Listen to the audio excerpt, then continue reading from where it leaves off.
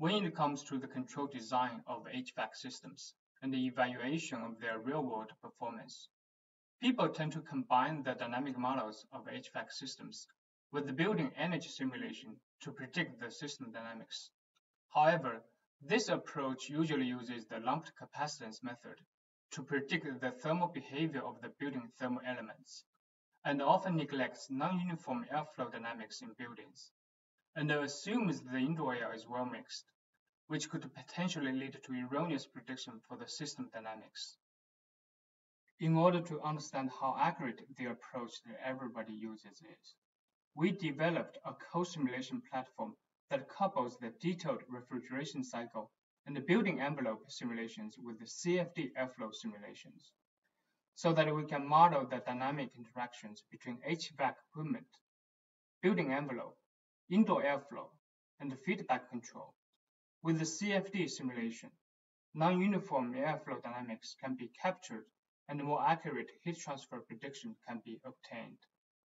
Now we can compare the performance of a simulation with the well-mixed air assumption that everybody uses with the co-simulation that we developed to understand the differences between these two so that we do better control design and the system can have better thermal performance. We simulated the pull-down performance of a room air conditioner under different fan speeds.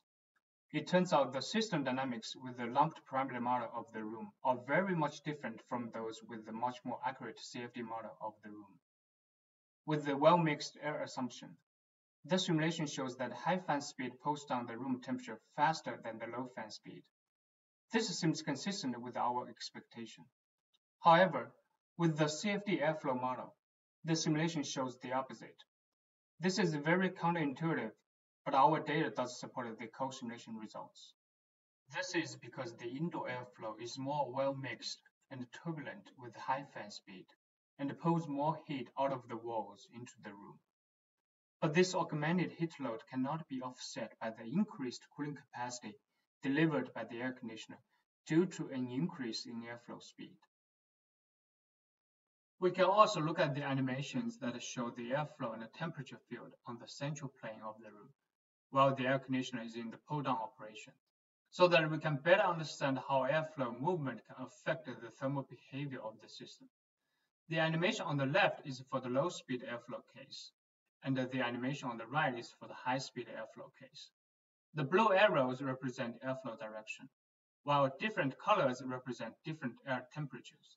The air comes into the room through the supply vent and the leaves through the return vent because the airflow dynamics will affect the operation of the air conditioner. We need to feed the cycle models with the return air state and update the supply air state during the co-simulation. In the animations, you can see the air temperatures are not uniform. Also because of the jet flow, there are two vortices forming in both cases. In the high-speed airflow case, there's more air entrainment around the vortex in the right corner because the air velocity is higher. While in the low-speed airflow case, a lot of air just bypasses the vortex in the right corner and then leaves. So we can see the high fan speed results in more air mixing, and heat transfer between indoor air and the building walls is enhanced accordingly, causing longer pull-down time. Without co-simulation, this complex heat transfer and fluid flow phenomena cannot be observed.